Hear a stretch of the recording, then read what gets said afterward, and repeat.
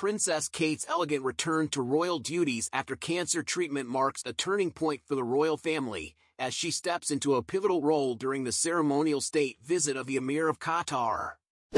With her presence exuding resilience and grace, this engagement showcases the enduring strength of the monarchy despite personal and collective challenges. The Princess of Wales made a remarkable public comeback today, participating in her most significant royal duty since undergoing preventative chemotherapy. Kate, alongside Prince William, greeted Sheikh Tamim bin Hamad Al Thani and his wife Sheikha Jawahar on behalf of King Charles III, marking the start of Qatar's highly anticipated state visit. Dressed impeccably in a coat by Sarah Burton for Alexander McQueen and a pearl necklace that once belonged to Queen Elizabeth II, Kate radiated poise as she joined a series of events steeped in British tradition.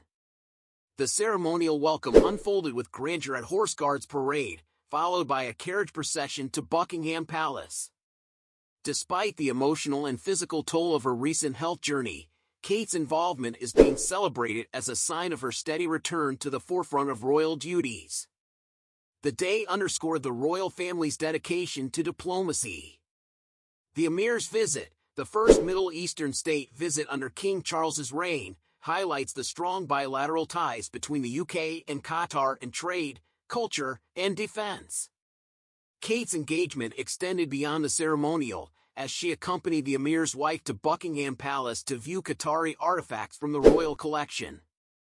Although she opted out of the evening state banquet, her active participation during the day symbolized her resilience and commitment to her royal responsibilities.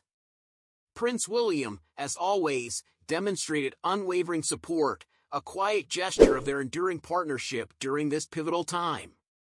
Meanwhile, Queen Camilla's absence at the morning's events due to lingering effects of a viral chest infection highlights the challenges facing senior royals in maintaining their demanding schedules. While Camilla joined the proceedings at Buckingham Palace, her health struggles have led to adjustments in her role, underscoring the importance of adaptability within the monarchy. Despite these challenges, the state visit proceeded with precision, with King Charles personally hosting the emir and his delegation. The monarch's connection with Qatar, rooted in shared interests and past collaborations, added a personal touch to the otherwise formal proceedings. Kate's return not only marks a milestone in her health journey but also signals her readiness to take on greater responsibilities.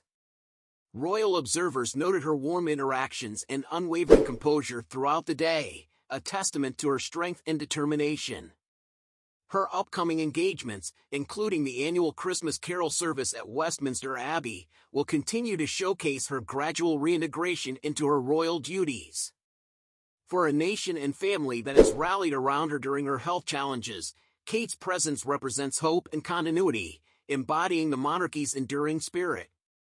As the Princess of Wales steps into the spotlight once again, her journey of resilience and grace serves as an inspiration. Balancing personal recovery with the weight of royal duty, Kate's return is a powerful reminder of the enduring strength of the royal family. With this state visit setting the tone, the days ahead promise not only a festive season but also a renewed sense of purpose for a beloved royal stepping back into her influential role.